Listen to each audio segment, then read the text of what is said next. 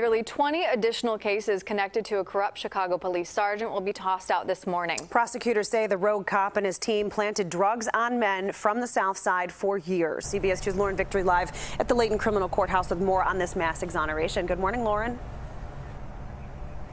Good morning, Marissa and Aaron. This will mark the second time in just a year that convictions will be overturned here, all linked to the same sergeant. And those might continue. That's because defense attorneys say former Sergeant Ronald Watts was involved in more than 500 convictions during his tenure with the Chicago Police Department.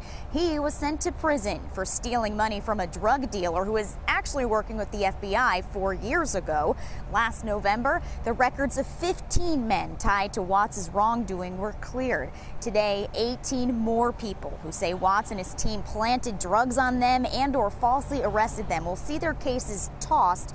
For many, though, it's a little too late. Today's framed victims served a combined total of 46 years plus time on probation. CBS 2's Roseanne Tellez spoke to a man exonerated last time around who spent five years behind bars after what he calls a bogus arrest.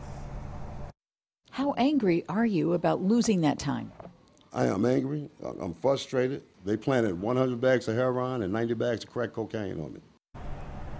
Now, those arrests expected to be thrown out today would bring the grand total of people exonerated and linked to this sergeant to 42. Some of the hopefully newly cleared men are expected to speak after this morning's brief court hearing at 9:30.